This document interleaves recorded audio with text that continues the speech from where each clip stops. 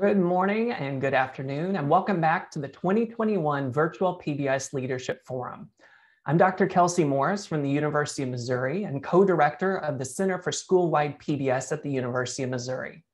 As someone who works with district leadership teams to implement and scale up PBS, I'm excited to be here with you as we kick off the district leadership strand. In order to sustain and grow effective implementation of PBS district-wide, systems and supports that build internal capacity are critical. We're thrilled to have a whole strand devoted to leading district-wide implementation, sustainability, and scalability. Here in this strand, we're going to work to illuminate and illustrate the logic of district-wide implementation and the various elements that drive effectiveness and expansion of PBS across the district. We're excited that we have multiple district leaders joining us in our sessions today to share their journey of implementation and to, to describe for us and for you how they've worked to implement, sustain, and scale PBS district-wide. Plus, we're gonna leave you with resources and ideas that you can use in your own district as you work to implement PBS. This strand is organized around the implementation drivers that you can find in the PBS Implementer's Blueprint and which are also the organizing structure for the district systems fidelity inventory released last year by the Center on PBS. By the end of this strand, we'll have touched on almost all the implementation drivers and mapped them back to the district systems fidelity inventory. So you as an attendee get a glimpse into the many facets of district-wide implementation and can better see how you as a district leader are involved in the process. We're going to begin this strand by hearing from a panel of district leaders who will talk to us about their experiences developing district-wide systems to support implementation, how they've organized a leadership team, aligned their work with larger district goals, as well as developing the capacity of their workforce. Truly, all things that lead to sustainability. For our second session of the day, Dr. Heather Hatton from the University of Missouri, along with other district leaders from across the country, will talk to us about the systems and tools necessary to facilitate database decision-making across the district and at the district level. We'll wrap up our strand by hearing from Dr. Lisa Powers of the University of Missouri and a set of district leaders on their efforts for training and coaching and moving from a building level focus to a district-wide process to truly support all students across all tiers. As we move through the various sessions in this strand, consider for yourself these questions. With the content that's shared, how does it compare to the priorities of your district? What team in your district would oversee this work? And as you're starting to think about bringing new practices or new strategies into your district, consider what could or should you stop doing to make room for this new work? And how will you assess whether it's being implemented well or even working to help you achieve your goals? You may have been introduced to these expectations at other sessions or in other strands of the conference. As we kick off our time together today, we'll reshare these and encourage each other to be responsible, respectful, and safe as we move through the various sessions. Whether this is your first session of the conference or you've had the opportunity to participate in others, let's quickly go over some logistics of the conference platform. You can find all the sessions that you've registered for in the conference platform under the Agenda tab and My Agenda. On the individual session pages, you'll be able to find the important details for the session, have a button to directly join the session, and be able to interact and engage through the chat, polls, and any files the presentation team has uploaded. You can use the chat feature in the conference platform to engage with other participants around the session topic as well as the content facilitators who are monitoring the chat and who are able to respond to questions at the right moment in time. All of the sessions for today have time set aside toward the end for attendee Q&A. You can find the Q&A under the polls section and can submit the questions you would like speakers to respond to. Plus, you even have the opportunity to upvote specific questions. Like most things online, it's possible to navigate away, so be mindful of your online activity. If you happen to navigate away from this live session, you'll need to press the join meeting button to enter back in. Even though you may still be in the conference platform, clicking on links and items outside of this session will navigate you away from the actual event and require that you rejoin to continue. If at any time you need technical support, know that you can click on the help desk option that's at the top of your conference platform screen and access a support agent. Now I'd like to turn our attention to the first session of the Strand, an overview and logic of district-wide implementation. We have a wonderful panel of district leaders from across the country joining us today. Today, we're joined by Danielle Starkey, who's the supervisor of the Omaha Public Schools multi-tiered system of support for behavior initiative. We're also fortunate to be joined by Dr. Jane Crawford, who's a member of the district-wide MTSS team for the Ferguson Florissant School District, chair of the MTSS Makers team, and principal of the STEAM Academy for grades 9 through 12. As well, we're joined by Renee Garcia, the new and first Director of Diversity, Equity, and Inclusion for the Michigan Department of Education, and who previously served as Superintendent of the Muskegon Heights Public School Academy System. We also have the privilege of speaking today with Paula Regosa, who is the PBSIS Coordinator and Professional Developer for Clifton Public Schools. While we give our panelists a moment to settle in, and before we launch into our first question, let's establish a base for today's session. Across the country, almost 30,000 schools currently implement PBS and reach more than 15 million students. In recent years, that number has steadily grown. And as schools increasingly choose to implement PBS to positively impact school climate, students' social, emotional, behavioral health, it gives us a unique opportunity as district leaders to plan for expansion and sustainability.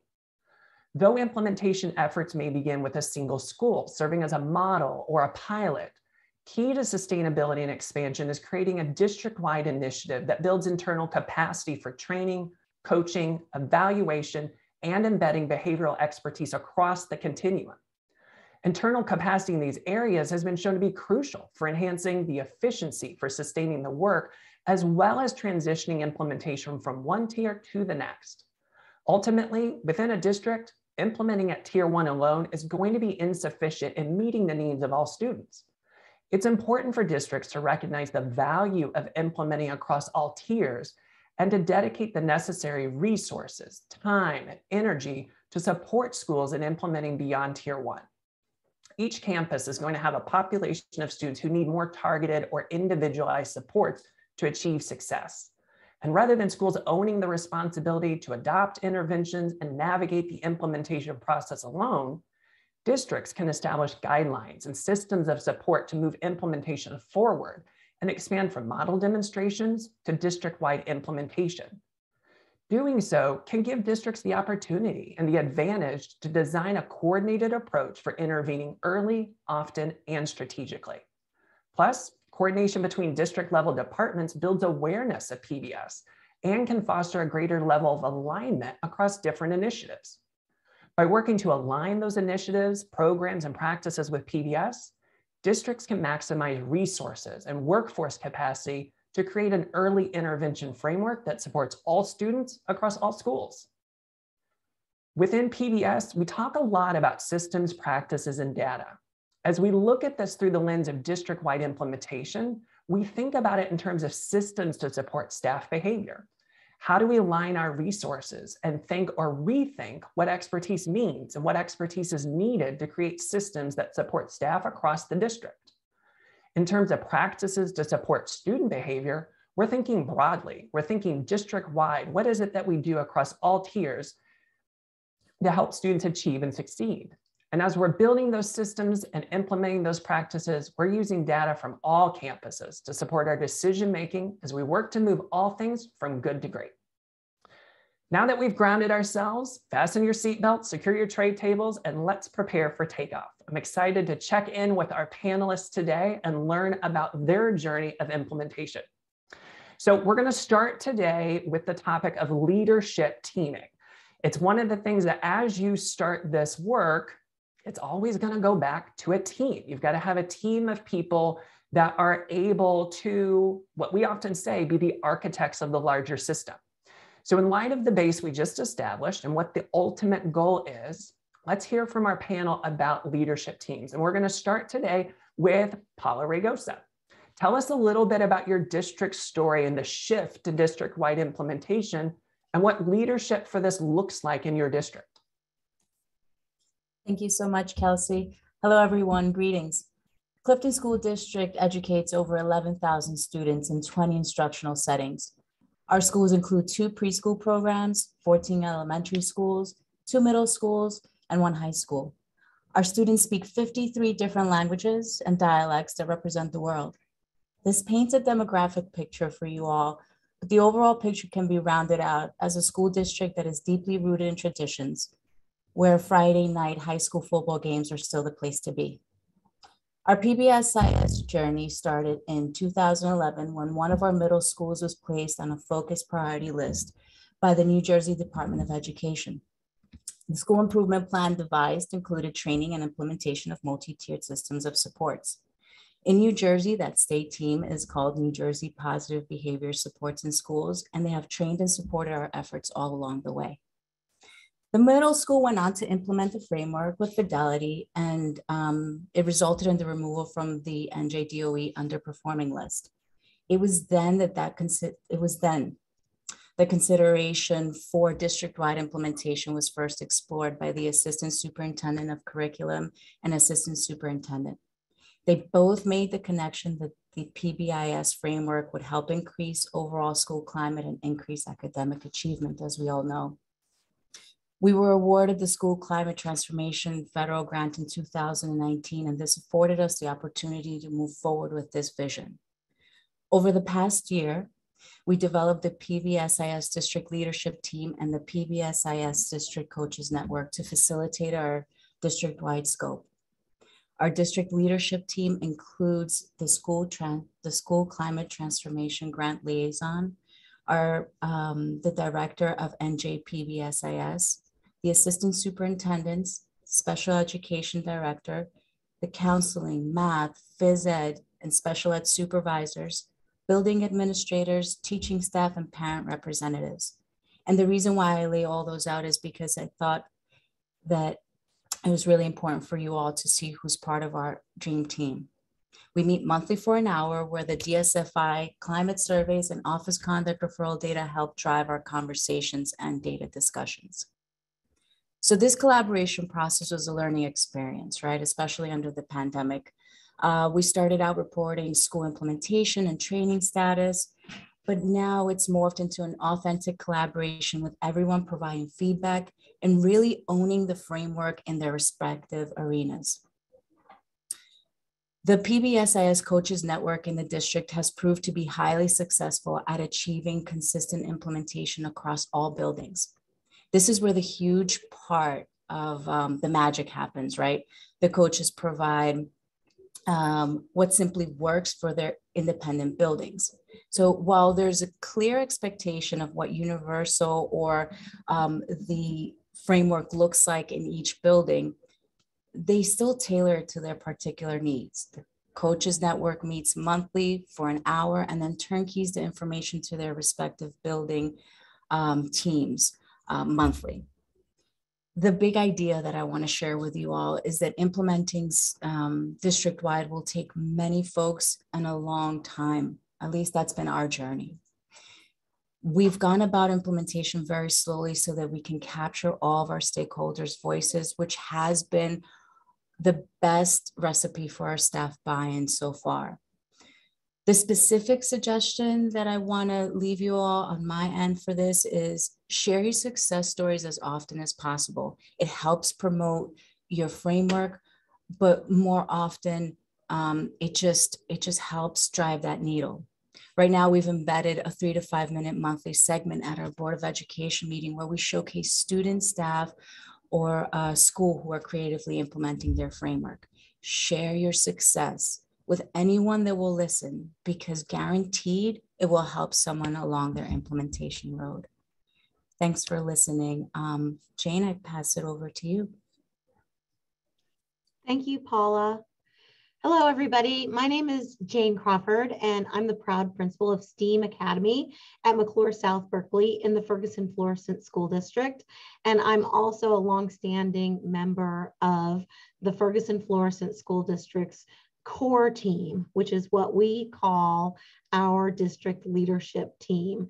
And we um, have been dabbling in core team work for a little over a decade, actually. And we started many moons ago with um, a committee called Tiered Intervention Leadership Team or TILT.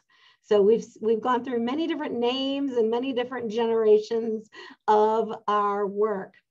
And um, in Ferguson Florissant School District, uh, PBIS started as a real strong grassroots effort back in the late 90s, early 2000s. And we actually had a few elementary schools in our school district of 11,000 students who were really um, focusing on implementing PBIS and getting awards from the state level for their implementation and becoming exemplars in the state. And so that enthusiasm and those results permeated all of the rest of the of the schools in our district, which there are 22.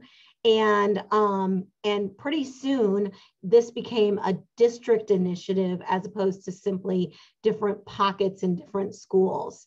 And, um, and so then we, we decided to try to harness and organize some of our momentum through that district teaming that I mentioned a minute ago. And so now we call um, our team the core CI3T slash MTSS team. And we also meet monthly, just like Paula's group does. We do meet for a little bit longer than an hour. We typically go about two to two and a half hours for our core team meetings. And we are divided into a variety of different subcommittees. For example, I'm the chair of what we call the makers team.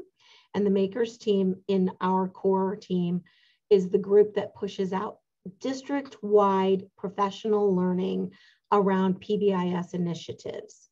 And there are other committees as well. There's a data committee, there is a coaching committee, there is an alignment committee, there's um, a, a, variety of different um, committees that, that work with specific details of our district's um, uh, fidelity inventory.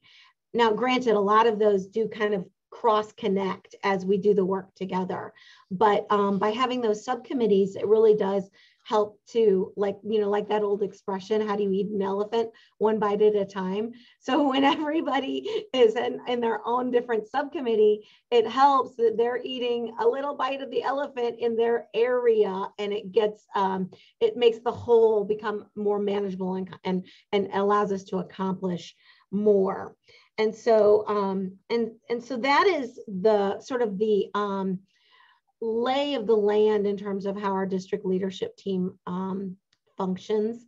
I do want to give a shout out to um, all of the um, upper level district leaders who are so supportive of this work, including our current leader, Dr. Stewart, our previous leader and, and the keynote speaker from PBIS, um, Dr. Benita Jameson, and, um, and so many of the um, superintendents and assistant superintendents who've supported this work wholeheartedly um, for the benefit of the children in the Ferguson Florissant School District. All right, so now I'd like to pass it on to Renee. Renee, we're so excited to hear from you because I love that Jane just identified a, a, key element as having those executive level leaders in support of the process.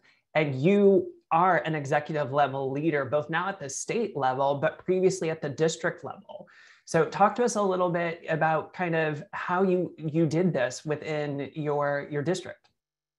Yeah, absolutely. So I had the the honor and the privilege of being the superintendent of Muskegon Heights Public School Academy System, which is a pre-K through 12th grade school system in Western Michigan with about 700 students. We're pretty small um, we are we I, I, say are i'm two months into my new position at the michigan department of education so i still feel very connected to muskegon heights but so i'm going to speak in the current tense. We um, we're a school district um, that 10 years ago was um, taken over by the state um, had a significant amount of debt and um, not performing well on the state standardized testing and so I was not with the district at that time, but there's been a long time of a real disenfranchisement from the community in the schools, and understandably so. Um, we weren't really serving the community as they deserved to be served. So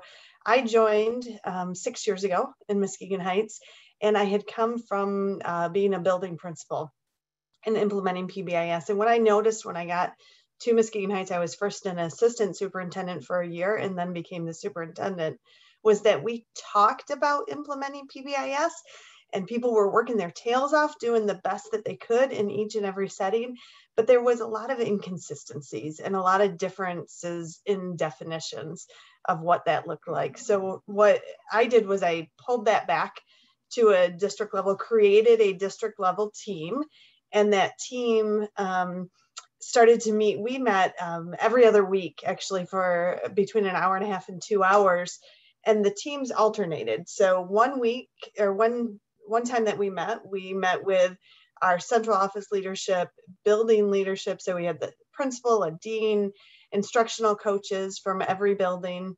And then the next time that we met in the month, we included partners in our work. So we have uh, Boys and Girls Club, uh, mental health, um, healthcare center. So really um, incorporating an ISF um, with with that work so that we could coordinate our services um, the community in Muskegon Heights is also 95% African American. And so what we were working very much to do was to layer in culturally relevant PBIS. So making sure that um, it was a system that could be embraced by our community and supported that our community felt as though um, it represented the values that they had and the desires that they had and um, a very strong um, invested community and tradition and very strongly invested in their children.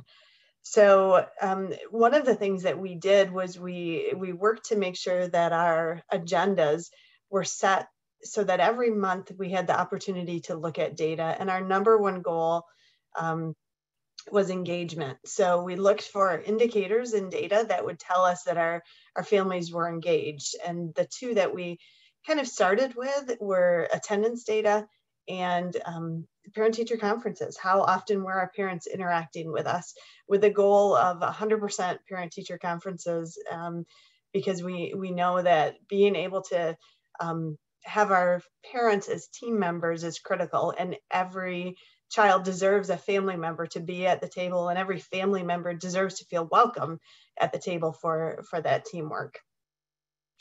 Um, so every every time we met, we looked at that data and saw where we were and um, strategized around how we could do better. Um, the next section of every agenda was communication. And we built, with the support of our wonderful um, ISD, built a communication system where building level teams would share with the district level how things were going. And in that, it was critical that they shared celebrations as well because we wanted to honor the work that they were doing. And so we could we could lift that up to a district level and then also share their barriers. So they were able to tell us what was standing in their way. And we had the capacity in this in this meeting to realign resources whether they were people resources or financial resources to help move things out of the way so that they could implement with fidelity um, and then the last thing that we included in every agenda was our learning opportunity. So what was the next step we were all going to take together to make sure we were implementing with fidelity and giving teams um, opportunities to plan those that work that they would do when they got back in the building. We tried to make those uh, meetings work sessions because we all had way too much to do, frankly, to just be given homework or assignments. So tried to develop those plans there so that then the teams could take those back and, and hit the ground running.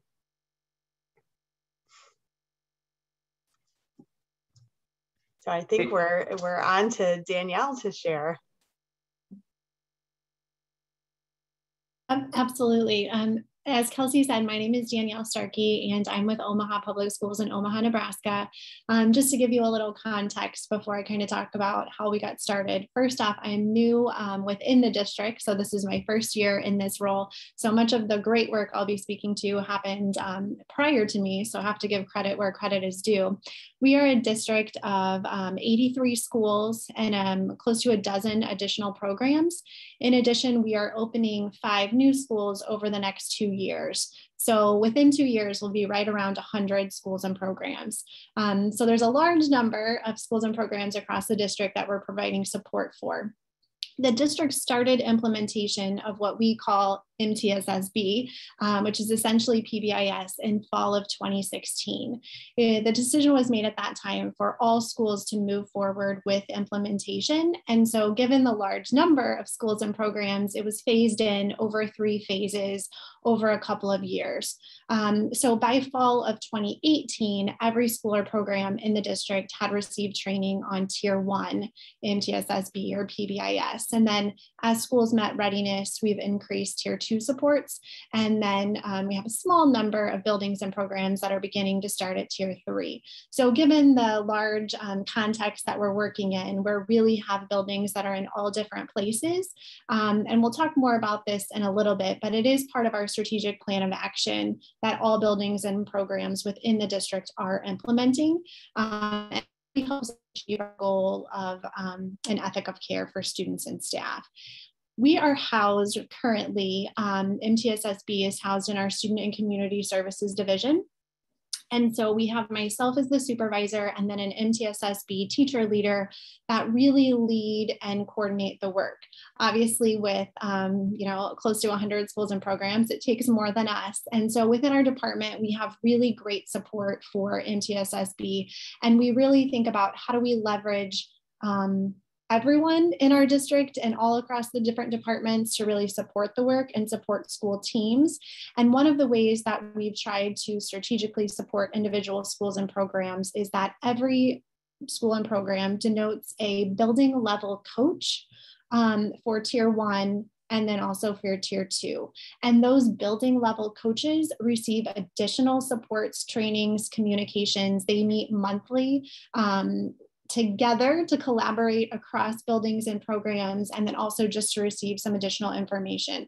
So the goal is that while um, there might be a smaller number of us kind of leading the efforts at the district level, we're really building capacity within our schools and within those um, teams through those coaches to really be able to kind of bring some of the work forward. Um, so that's kind of our structure in terms of phasing schools in over time and building internal building capacity struck by how each of you has a completely different journey to district-wide implementation. I think that's what our audience needs to know is there is no one path. Um, and I'm also struck by how each of your districts has been doing this for several years.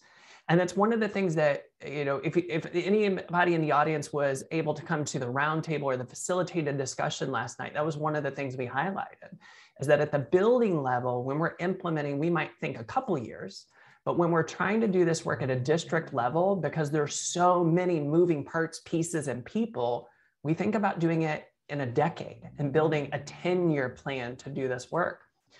I'm also curious, and I'm just going to kind of toss this one out to the whole group. So whoever wants to pick up this, feel free to pick it up and run with it. But each of you described when when we kind of threw that question of leadership teaming you identified it in a yes and approach everybody talked about yes we have a leadership team but you expanded it to talk about your internal and external stakeholders and so we oftentimes get questions from district leadership teams going how do we do that what's the first step to to bring more voices than just ours into the conversation so I'm just going to toss that out. And uh, how do you do this? Well, Kelsey, I can chime in if um, for us, I think it came out of necessity. So we started to see the areas where our framework wasn't meeting fidelity, and we started to see our pockets in our district.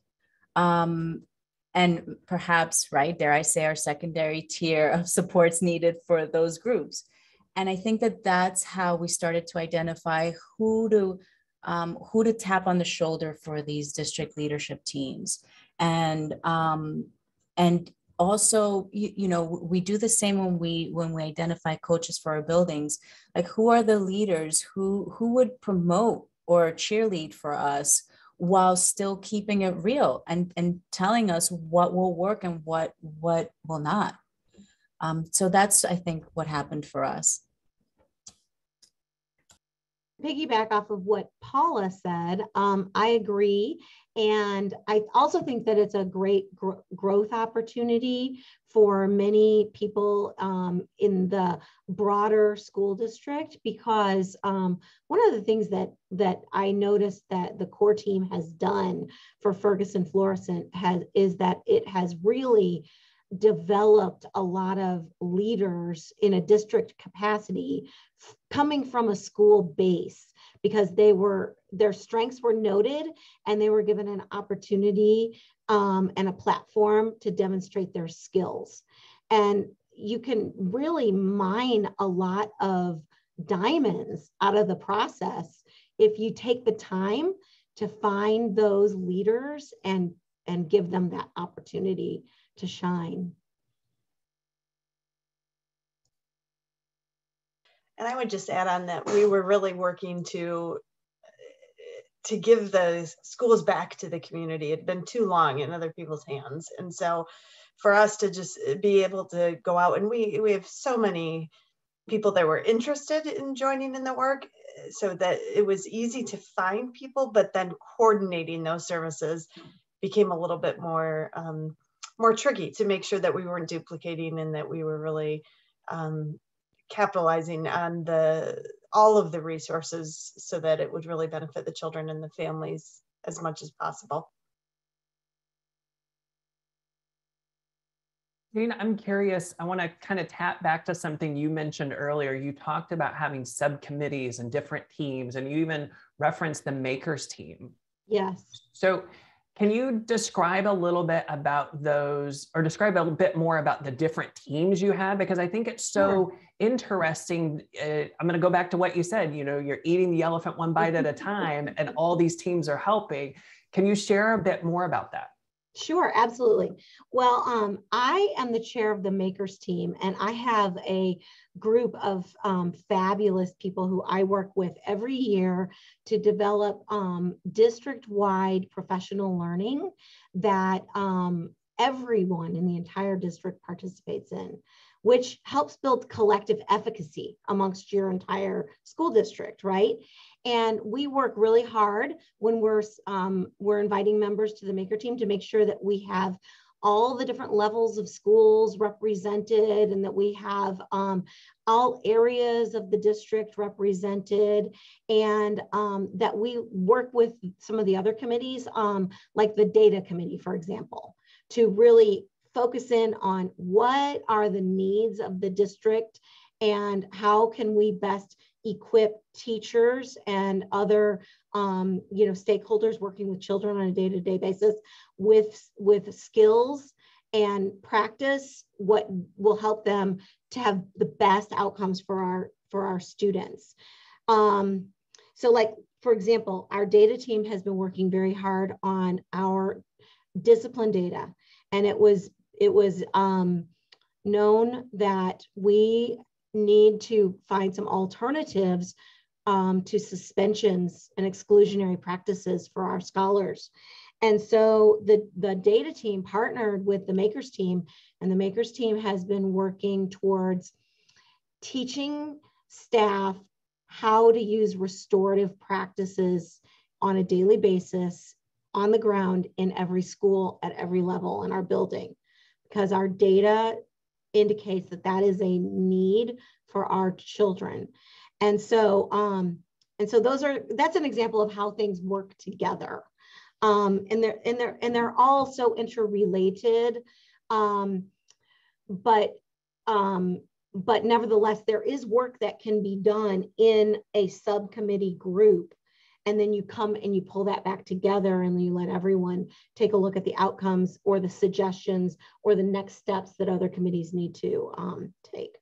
And I will say, I think our coaching um, subcommittee is is kind of like our big next step. That seems like the next phase for Ferguson Florissant, what we're really going to be developing out um, as an effort to um, increase our collective efficacy district wide.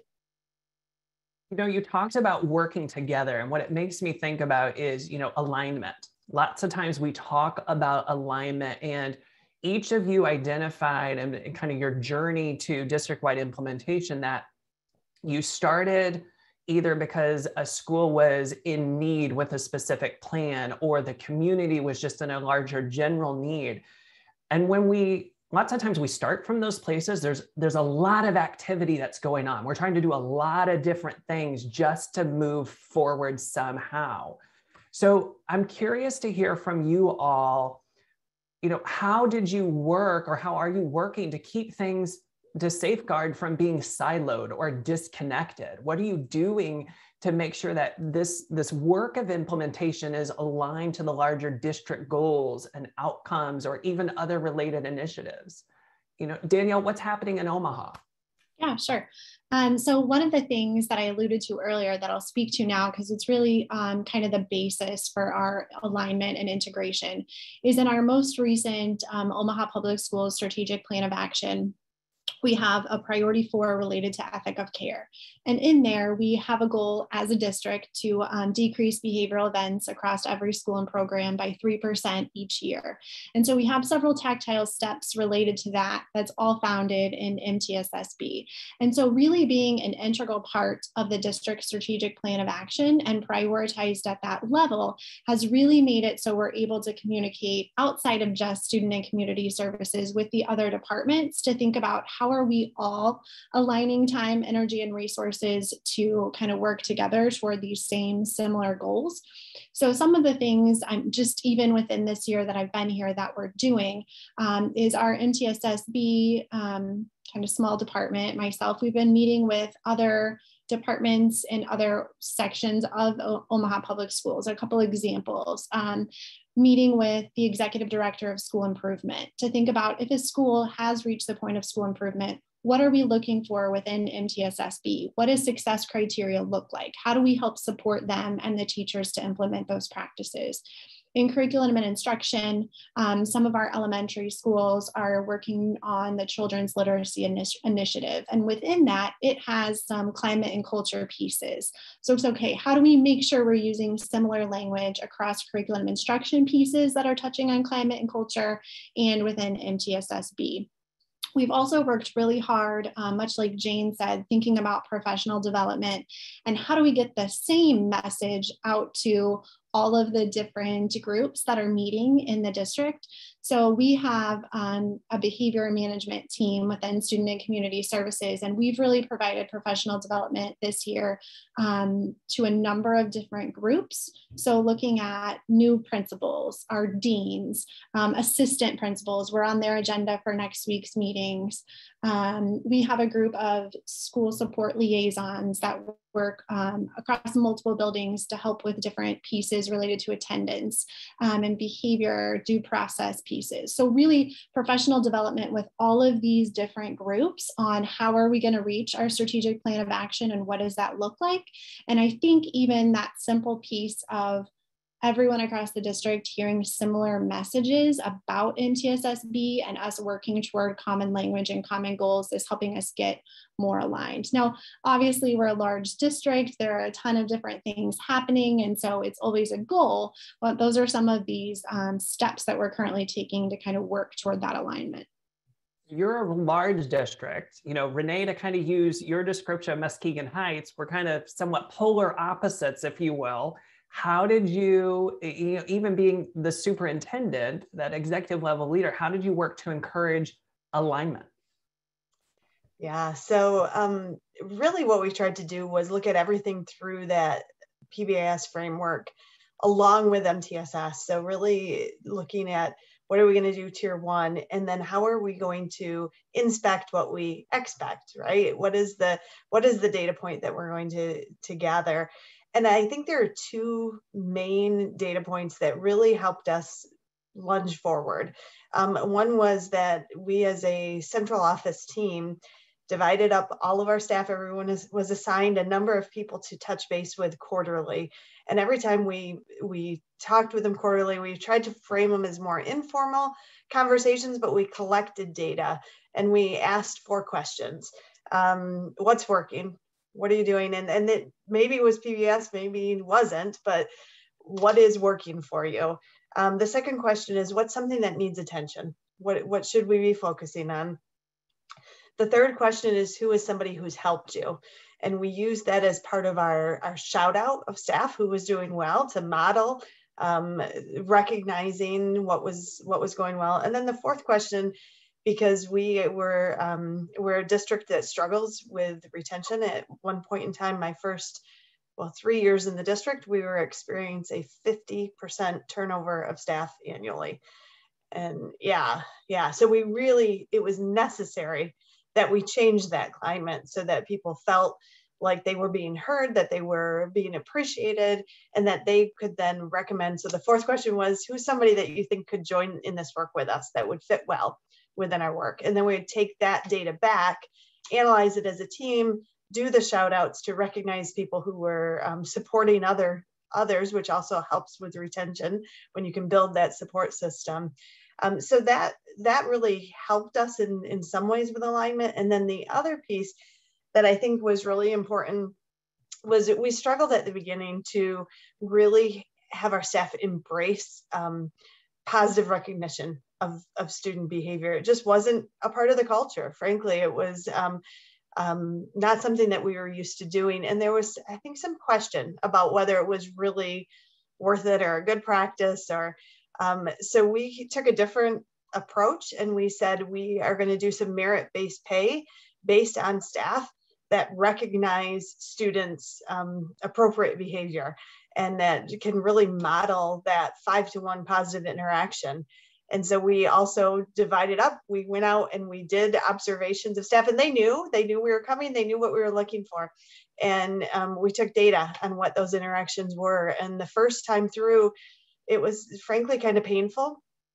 Um, we weren't even close to what we wanted to be, but the critical part of that work was to give feedback to our staff. So everyone received feedback. They knew they would be observed at least two more times prior to the end of the year, and at least um, to be able to earn that merit pay. And what we saw was a quick change in behavior. And that quick change in adult behavior and recognizing the positive student behavior changed the climate. Um, and we found that we needed to kind of keep that going and keep touching touching base and doing those periodic but it was it was not a surprise for the staff right we lay out expectations for students we lay out expectations for staff this is what we expect here's how we're going to monitor it here's how we're going to acknowledge and reward it and here's how we're going to correct it so we just applied the same concepts and um, that really helped move us forward. I'm really curious of hearing hearing more though um, from other districts because I'm always now moving into this state role, you know, looking for ideas to be able to share out. So, Paula, you want to share what you guys did? Um, sure. So for us, um, let's see, it came in two different phases, one out of necessity, but then when we got when we were awarded the school climate transformation grant, that really happened naturally where we had to develop the goals and they had to align with uh, what our district was doing. But so they're components. Um, our central administration definitely bought into it. Our superintendent, our assistant superintendents bought into it. They knew it was the right way to go. And so it was in all communication everything that they talked about, every meeting they held, they made sure they had the language of uh, the framework or the, the Mustangs being all one. Um, it was always referred to. I think that the other big push that I saw that made it align um, that that was that really brought some some of this to light was our community involvement and our parent and community involvement. So a lot of our teaching staff our former alumni.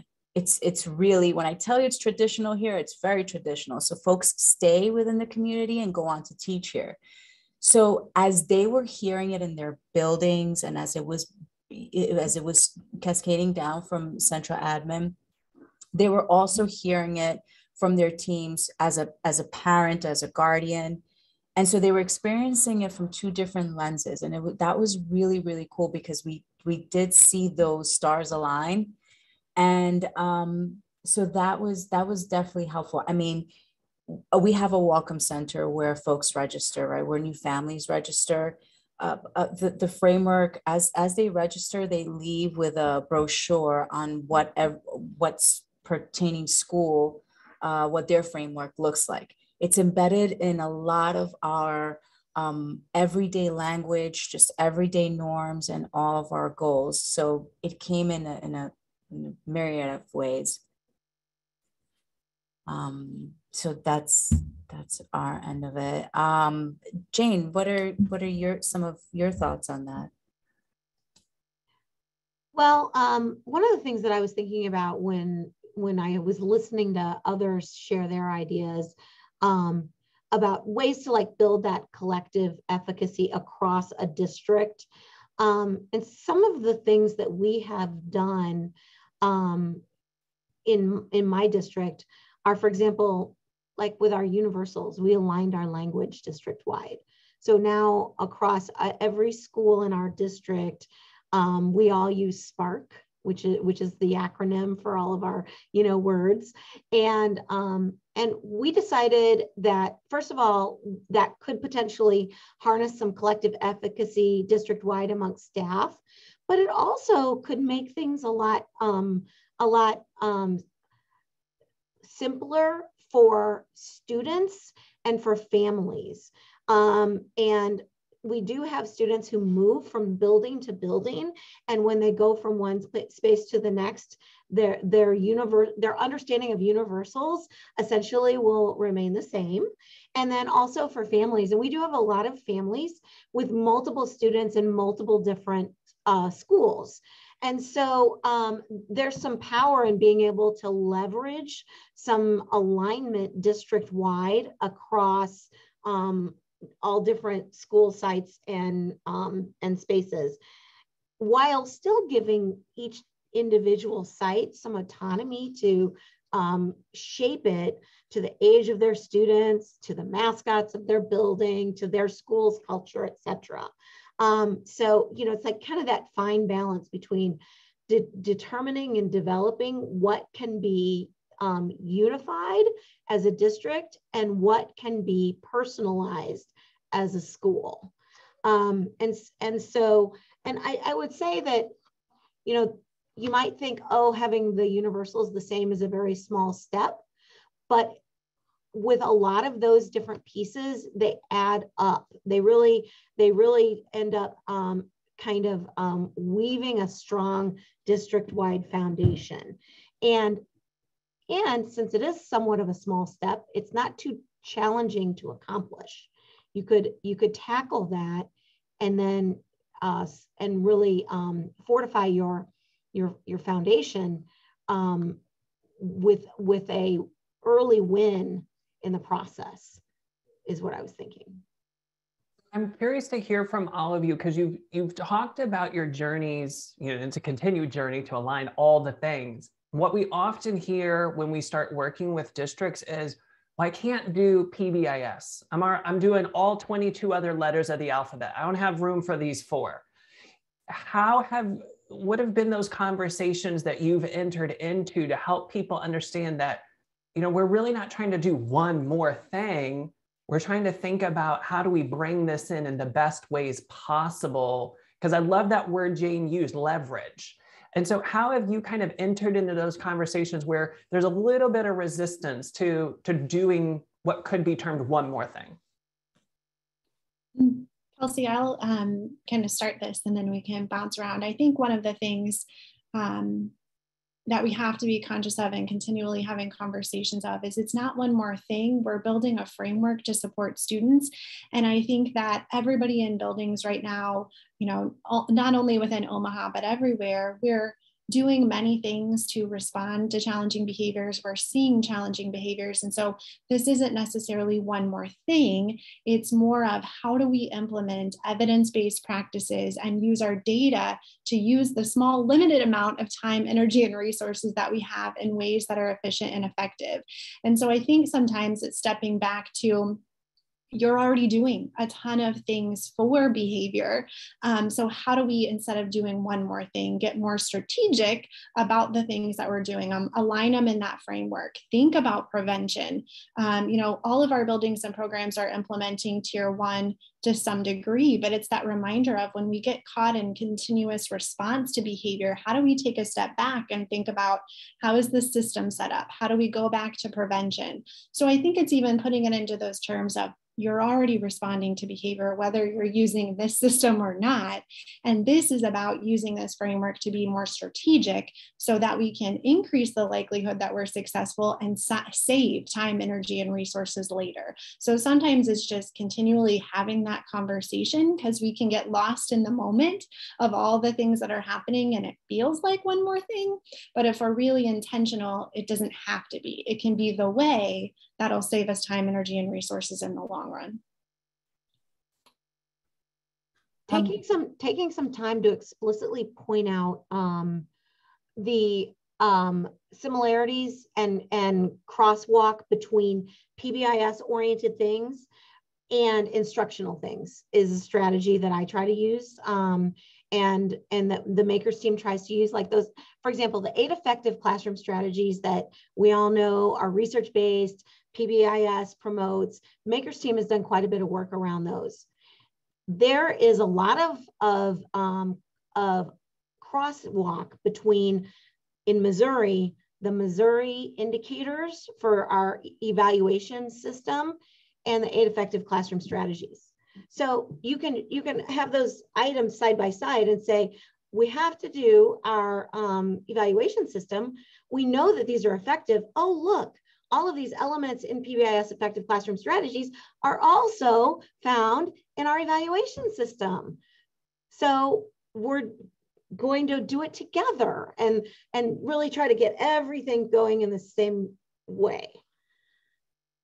Be, being explicit about pointing out those commonalities for people. So Jane, um, and um, and Danielle, we we definitely see it from that same lens. And what I what I like to do with, especially during the coach networking sessions, at the onset of our school year, we it started off uh, as it like I just cheesy model of the triangle, and I had every team, um, every coaches because they co-coach, every coach uh, um, in the building um, identify what levels of support they naturally have in their building and had and I had them write it along the triangle, right? We've seen this before. Um, it, it developed into a written piece, but what was really cool is they took that, turnkey um, the information to their team, and then their staff disseminated it uh, in multiple staff meetings um, throughout the first month, month and a half. Um, this was particularly helpful for when schools were originally rolling out, like their first year of rolling out after their um, training year. And I think that it helped folks really see it as the umbrella under which everything is housed under. You know, we use that analogy as well. But that was an activity that helped drive that point for us. And I would just jump in and say that if, Muskegon Heights was probably very unique in the way that um, our teachers knew that we needed to do something different. They they knew that our children needed more and that we weren't really really reaching them to the extent that they deserved. And so they were ready. I, I literally never had somebody say it's one more thing. I people were just like, tell us how, tell us how, which is uh, so unique in any experience that I've ever had. Um, and then because so there's always a silver lining because we turned over 50% of our staff annually, once we built the framework, um, it just became who we were and what we did. So as we hired new staff, we worked with our onboarding system to say we have two weeks of PD prior to school starting, and we framed that onboarding to say this is how classrooms are set up here. This is how um, how classroom management happens here, and so we just made it part of the system. And so, in in some respects, I think it it might have been easier in that way. I love how you said you made it part of the system and, you know, Paula's talked about, you know, we have a coach network and Jane's talked about we have a makers team and Danielle's does, you know, identify that each building in Omaha designates a coach. So you've got these people that are helping you promote and lead and progress and support. But I, I want to pick up on something that Renee said. You know, Renee's used the word turnover, and that's something that all districts encounter at some point in time be it large turnover one semester, one year, small the next. So when you think about bringing new people into your district, how do you make sure that you've got the right people to do the right job given everything you've shared with us today? You know where is pbis experience or knowledge or skill? How is all of that part of either your hiring practices or your your performance expectations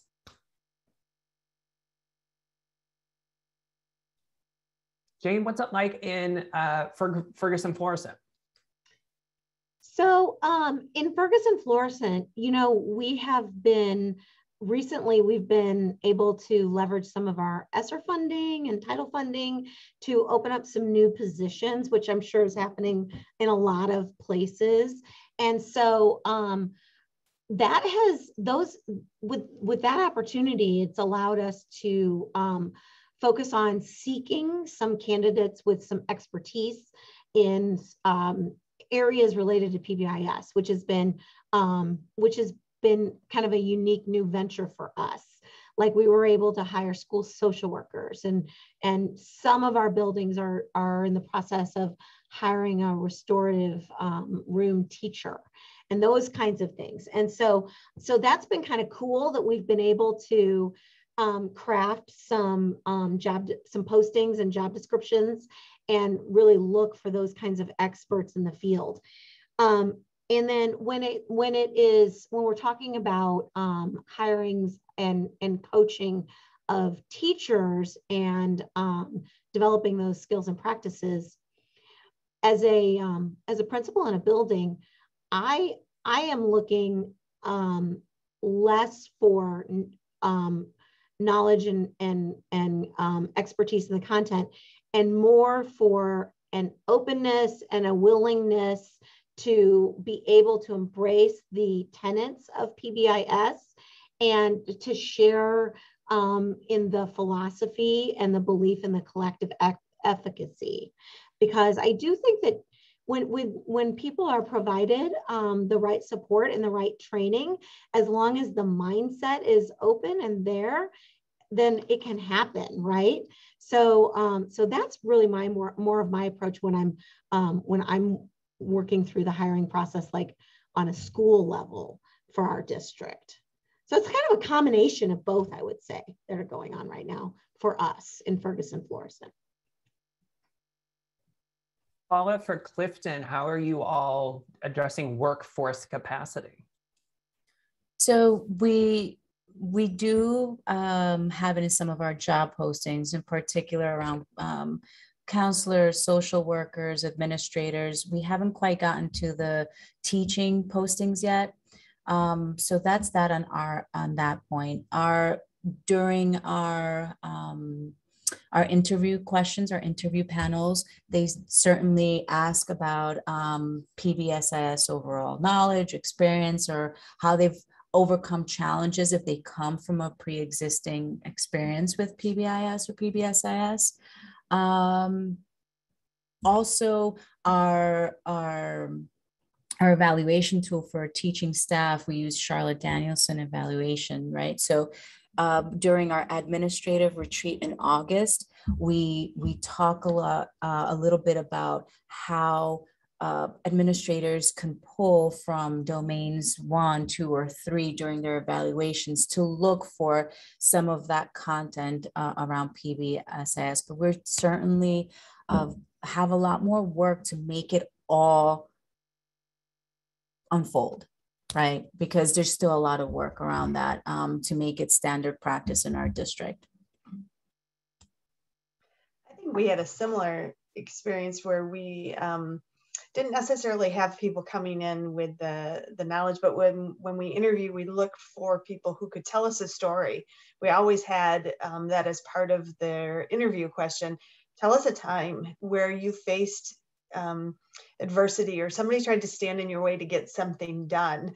Because what we were looking for was really the people with the the capacity and the um, stick to itiveness to to do what they knew they needed to do. And then once they came on board then we work through the onboarding system of this is how we do it. And um, and this is where the system is. And then i think the other critical point in that is the feedback loop. So um, for us it was through evaluations as well and for everyone um, our central office evaluations how are you supporting systems in the buildings? And we each um, each central office member had a principal team uh, or principal that they mentored and that they did side by side with with. And as we did walkthroughs for the principal completing their evaluations looking for those elements in the evaluation making sure that we were seeing the same thing and so we could coach the principal along with just checking to to make sure that we saw saw things in the same way a fidelity check if you will and um, then that when it's in the teacher evaluation, it's in the um, administrative assistant evaluation. So how our students um, interacted with and families interacted with when when they come into the office, because it's, I mean, that's the first place and the uh, almost the spokes, um, what represents the whole school climate, right? Um, so we we tried to implement it through everybody's evaluation system in that way and including that they that they get those feedback loops because we can't expect people to just know or to read a rubric and, and interpret what that means the same to everyone so that they could get the feedback loop then um, go practice and then continue to get more feedback so that we could grow together. And just to kind of take that what renee said and take it a little deeper i've always had you know i think all of us do this philosophy prior to this position that we can't expect people to implement things if there aren't systems in place to support them. So when we think about teachers in the building implementing mtssb or pbis practices if we have just like we think about with students, if we have a large number of teachers that are struggling to implement it, when we look at data across the board, how do we as a school building work to really create systems and structures that help support them to do it? And so that's one of the things that we're looking at across the district now is how are teachers doing with implementation of some of our MTSSB practices at the classroom level? And if we're not implementing, how do we then as a building team help support implementation? What systems might we need to put in place at the building level to increase the likelihood that they're able to do it successful. But then I also think at the district level, we have to take that same lens and approach. If we have schools um, when we look across data, whether it's the TFI or the SAS or um, you know behavior event data, whatever it might be, if schools are struggling, how do we make sure systematically from the district level that we're supporting that school? Do they have new um, administrators, significant new staff? And so we really take the approach um, here in Omaha that I heard others say about that onboarding process. How do we, one, make sure anybody new that's coming in gets kind of caught up to speed on what is MTSSB? What are your responsibilities related to your role in the building or the district, but then always taking that step back of if someone's not implementing certain pieces or if a building's not or we're struggling at the district level, why? And is there a system that's not in place that we can help promote use of those effective practices? I got to tell you, you all have been so well received today. There is lots of love coming through in the questions, and people are so appreciative of all these these examples and ideas and nuggets that you've left with. Um, so as we we start to kind of move into our final few minutes, before we forget, I definitely want to say thank you so much to all the panelists here today um, to bring their rich experiences and their rich stories. And before we move into the participant Q&A, because there, like I said, there's been a lot of different questions that have come in and people kind of want to know and pick your brains, so to speak. If you're attending today's session, be sure to check out the files section in Pathable. you'll see there that there is a resources and links document for the entire district strand. And in that, you've got lots of resources. One of the things we've mentioned several times is the district systems fidelity inventory. Not only are you able to access that, you're able to access the guidebook that goes along with that, that our team here at the University of Missouri uh, spent the past few years authoring. There's a unique chapter for each section of the DSFI. So if you take the DSFI, you get your results, you can go to the guidebook and learn and grow as a district leadership team, start to forecast your next moves and your next steps. Speaking of that, shout out to Jane and Paula. They've uploaded and shared with us and all of you their district's action plans that go along with the DSFI. That's oftentimes what we hear is, can I see an example of what this looks like? Thank you so much to you representing your districts for sharing your action plans. And then we've also got training slides that are in draft and pilot form that our team here at the University of Missouri authored. So if you're curious to dig deeper into the DSFI and start building the capacity of, say, your district leadership team, there are training slides that you can use to help people understand the content at a deeper level. Um, but let's definitely go to some of these questions that have come through. And so the first question that came through was related back to building that continuum of support and specifically tier two. So anybody um, can feel free to pick up the question. We're just kind of curious, how did your district or how does your district determine school readiness for tier two, when it's time to start implementing or that the building's ready to. I'll, I'll, be brief and start, and then somebody else can jump in. Um, Omaha Public Schools actually adopted Missouri Schoolwide PBS's Tier 2 readiness checklist, um, and National Center also has one. So looking at data at the building level, um, some of the data indicators that were reviewed here were the school's Tier 1, um, tier one score on the tiered fidelity inventory um, staff's perceptions of implementation through the self-assessment survey or the SAS. We also looked at the percentage of students that were receiving zero to one office referral, um, hoping for around 80%, so that if you ended up at tier two, you didn't have a significant portion of students needing additional supports. And then we also looked at um, is the tier one team using data to make decisions? Um, so again, we used that and it kind of had cut criteria, but then it also came down to discussions with buildings about um, you know, how do you feel ready? And honestly, there were some buildings within a district who would meet readiness criteria one year, but they even self-selected to say, you know, we're getting a new admin, we're moving into a new building. I think it might be best if we wait so that we can increase success. Um, so it took over the course of two years for all of our schools and programs to move into even beginning implementation of tier two. Danielle, I appreciate you talking about a readiness checklist and how not that goes back to creating that system to support staff and to support all buildings. Renee, our next question, um, I'm going to toss it to you because it, it, taps back to what you mentioned earlier when you said merit pay. Can you define for us um, what that what that is, what that looks like? Because it kind of speaks to the larger topic of funding. How do we fund this work? Sure, absolutely. Well, for us, what we did was we worked um, what we called best practice pay into our Title I funding. Um, and so because we were a district-wide title district, um, uh, 100% of our students are it's direct cert. So we serve breakfast, lunch, dinner, and snack.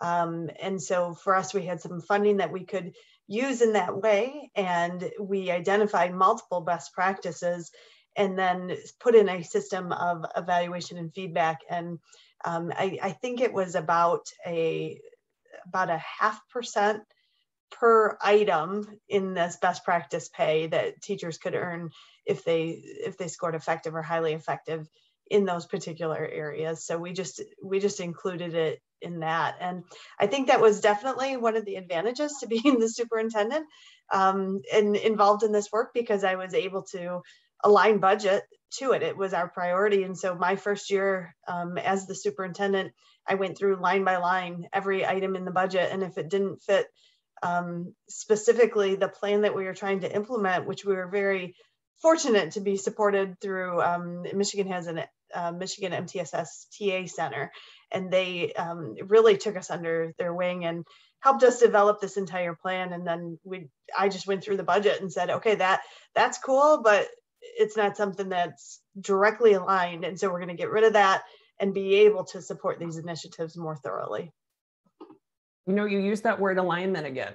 And that's um, something that came through the, que- the questions and answers, and it pertains to just that topic. We often hear sometimes about, well, you know, my kids are my kids and my community's my community. So, you know, that may be cool at the district level, but, you know, here's how we do things on my campus. And each campus ends up kind of having the autonomy to do their own thing. You know, from anybody that's on our panel today, what would you recommend? How could a district start to support alignment and move from you know site specific work and culture to more of a district culture?